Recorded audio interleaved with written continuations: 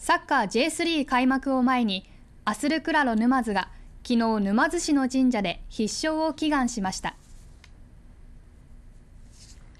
沼津比叡神社を訪れたのはサッカー J3 のアスルクラロ沼津の監督や選手らです。今シーズンからサッカー元日本代表の中山雅史さんが新たに監督に就任し来月の J3 開幕を前に必勝を祈願しました。静岡県東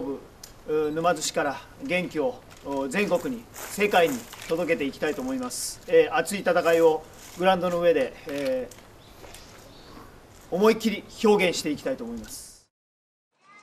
また最後は中山新監督と選手代表の菅井選手の2人が今シーズンの目標を絵馬に書き奉納しました。チームが高み目指して個人が高み目指す中で上位にいければいいですし、えー、優勝争いにあの食い込んでいければいいなと思ってます。